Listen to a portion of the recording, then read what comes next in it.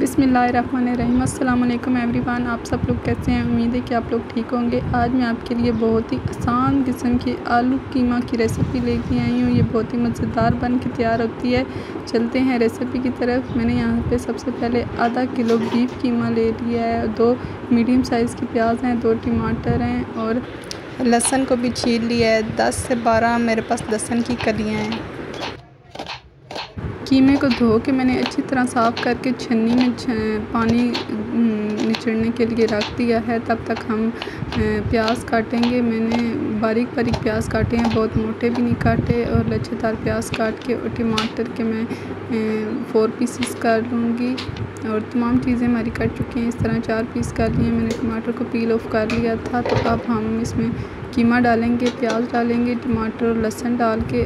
دو ٹکڑے دار چینی کے دو سبز الائچی اور ایک بادیانی پھول لے کے وہ میں نے اس میں شامل کر دیا۔ اب نمک حسب ذائقہ، لال مرچ ہاف ٹی سپون اور ہلدی پاؤڈر ہاف ٹی سپون۔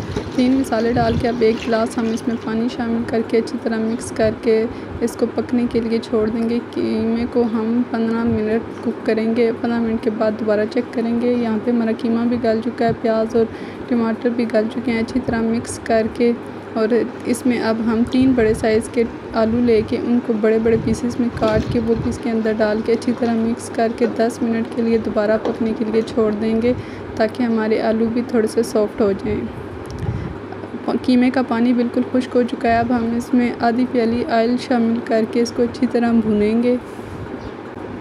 قیمے کی سمیل کو ختم کرنے کے لیے میں نے یہاں پہ کالا ثابت زیرہ شامل کیا آپ چاہیں تو سفید زیرہ بھی ڈال سکتے ہیں۔ تھوڑا سا پسا ہوا گرم مسالہ اور سوکھا دھنیا شامل کر کے ہم اس کو اچھی طرح مکس کریں گے۔ یہاں پہ اچھی طرح قیمے کی بنائی ہو چکی ہے۔ اب ہم اس میں دو سے تین ٹیبل اسپون دہی شامل کر کے اچھی طرح اس کو بھونیں۔ گے قیمے کی بنائی ہم نے کر لی ہے۔ اب ہم اس میں آدھی پیالی پانی شامل کر کے پانچ سے چھ منٹ تک کے لیے اس کو پکنے کے لیے چھوڑ دیں گے تاکہ آئل سیپریٹ ہو جائے۔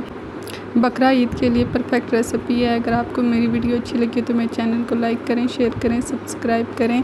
یہاں پہ ہمارا قیمہ پک کے تیار ہو چکا ہے۔ اب ہم اس میں کسوری، میتھی، ہرا، دھنیا اور سبز مرچی شامل کر کے اچھی طرح مکس کر لیں گے۔